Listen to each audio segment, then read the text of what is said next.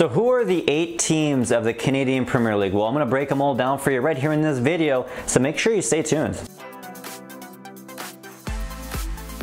Hey guys, it's Curtis here and you're watching my channel, AFC Curtis, your home for all things Canadian Premier League content right here on YouTube. So if you're new here, maybe consider hitting that red subscribe button. So guys, I went back through my stats and I saw there's a really good video that I did two years ago now that looks really dated and really bad to be honest with you. And the information's a little outdated too because it was the seven teams of the CPL. So I decided all the way now in 2020 it was a good time there to update that and put out this new update video with the eight teams of the CPL because we got up a team here, which is a good thing to do. So let's get things here started with the champions Forge FC. So the first champions here, the hashtag forever firsts. That's right here, man. Forge FC here from Hamilton, Ontario, Canada. The inaugural champions here. They get this is a team that's stacked couldn't even like get it out there because it was just stacked right there as this team. And Forge FC, you got Kyle Bekker, Chris Nanco, Kwame Awuah, you know, Triston Henry, who's an underrated goalkeeper on this team. Daniel Krutzen, uh, David Edgar, former Canadian men's national team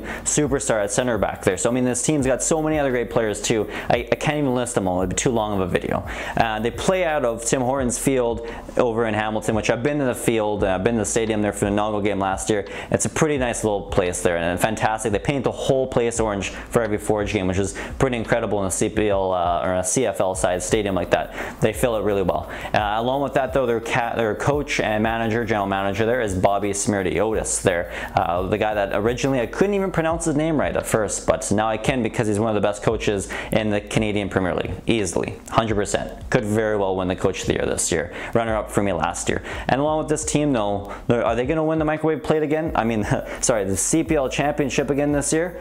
We're gonna have to find out. Now time to go to the craziest crowds out there, which is of course at Wanderers Ground, the home stadium for this next club here, and that's HFX Wanderers coming from Halifax, Nova Scotia. They love their CPL, CPL soccer out there clearly because they sold out pretty much every game last season uh, for the Wanderers there. Uh, now with this team here, they're coached by former Canadian men's national team coach there, Stephen Hart there. Hart's a legend as we all know, and he's very beloved there for club players and fans alike over in the city of Halifax and of course their players. They love and support their players out there, and the three some big stars there to watch, by the way, is defender Peter Schaale as well as uh, forward Akeem Garcia and midfielder Louis Béland-Goyette. It was a big signing this past offseason for them. So this is looking like a pretty good year for pretty upbeat HFX Wanderers. Next, we're going to Calgary, Alberta, Canada. Here we got Cavalry FC here, uh, the team that on paper is probably the best team in the Canadian Premier League, a team that was the best team in both the fall and spring season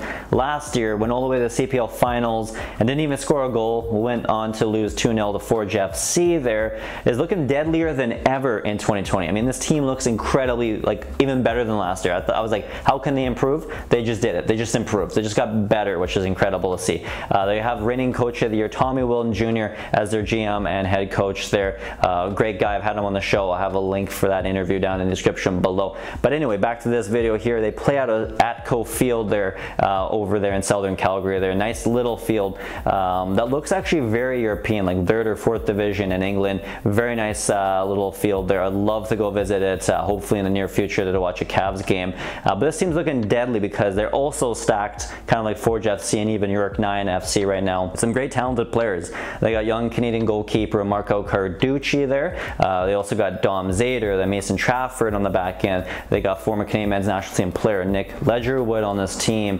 I mean, this team is looking fantastic. Jordan Brown, who I think is going to have another great season this year up front for the team there. And so many other great superstar names there. Sergio Camargo, Nico Pasquotti. I can keep going on, as you can tell, with uh, Cavalry FC. Um, but this team is looking just unbelievably uh, stacked. So definitely, if you're a favorite of championship caliber teams, Cavalry FC could be that, that club you might want to look at. Now we go to the nation's capital, the city of Ottawa, with the newest CPL team here, and that's Atletico Ottawa, owned by Atletico Madrid from La Liga side. They're one of the best clubs in the world, by the way, owns a CPL club. That's pretty cool. You gotta admit.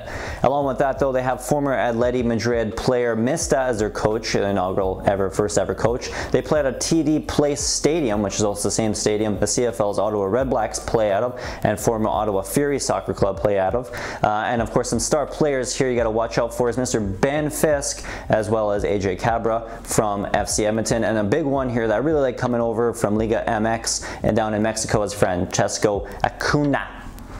It's to be a superstar, this guy. Stud. Got to watch out. Next, we're to go to a Golden Prairies club here in Valour FC from Winnipeg, Manitoba. They play out of IG Field. They're in southern Winnipeg. And of course, they're coached by former U20 and U18 men's, Canadian men's coach Rob Gale there as their GM and head coach. And some star players here. There's some pretty good ones here, guys, as they rebuilt this past winter. They got Arnold Bouka Moutou, left back from uh, Dijon, back over in the French, the French top division.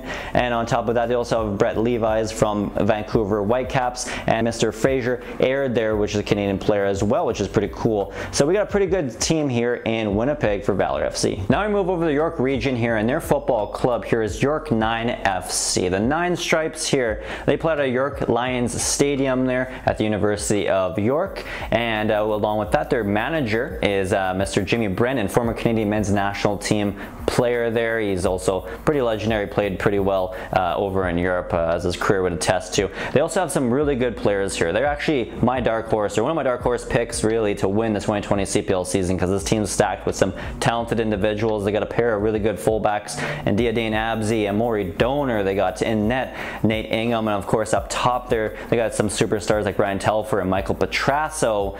So this is a pretty good team to pick if you're looking for a team close to Toronto. Next we're going to go to the city of Edmonton and their football club. There is FC Edmonton, who, by the way, is celebrating their 10-year anniversary in 2020. So they are the actually only club really in the CPL prior to 2019 that has any history, which is kind of cool. Uh, they also have academy that started back in 2011-2012, started by Mr. Jeff Paulus too, which is uh, also cool because he's now the head coach and general manager of FC Edmonton, and his club here has some pretty good star players moving forward here in 2020 with goalkeeper Connor James. We also have uh, defender Amir Didic, who had a good trial with the MLS's Vancouver Whitecaps. Probably should be in the MLS because he's that good of a defender. Plus, we also have striker here, Easton Ongaro, who's a pretty good up-and-coming U21 striker there for Canada. So this is a pretty good team, an underrated team in my books for 2020. Now we end things here on the West Coast with Pacific FC, one of the clubs with the nicest kits, as you can tell, in the Canadian Premier League. They play at a Westhills Stadium. They have a new coach here in Pa Kah here, a former uh, Vancouver Whitecaps player there as well. So so that's a good thing to note there. If you like the Whitecaps, why not support uh, also BC club here in Pacific FC? Plus, they love playing youngsters. Just last season, the inaugural year, they played more U21 or spent more U21 minutes on young players than any other club in the CPL in its inaugural season. And will probably do so yet again this season in 2020. Uh, some young studs here that we have on the team, some great players here. We got Terran Campbell, rising star at striker. We also have attacking midfielder Marco Bustos. There is a super, CPL All-Star last season. And of course, we got left back, former Canadian men's national team superstar there, uh, Marcel de Jong there, who's going to hopefully have a full season of health this season because club needed him last year. But this year, with him healthy, they'll look pretty, pretty good as well. So this is a team that likes to go forward and attack, and we're going to see that yet again in 2020 over on the West End. All right, guys, that's enough of me doing my wardrobe change here in this video shoot. Uh, let me know what your guys' favorite clubs are and why you support them down in the comment section below. And if, of course, if you like this video and agree with some of the stuff I said, definitely hit that thumbs up, that like button. And of course, if you want to watch more content just like this about the Canadian Premier League on my channel, make sure you hit that not only that red subscribe button, but a little bell notification button beside it so you can get notified each and every week when I drop brand new episode just like this one. You can also watch my content, by the way, guys, also at northernstarting11.com. We'll have a link for that website down in the description below. And until next time, guys, we'll see you later.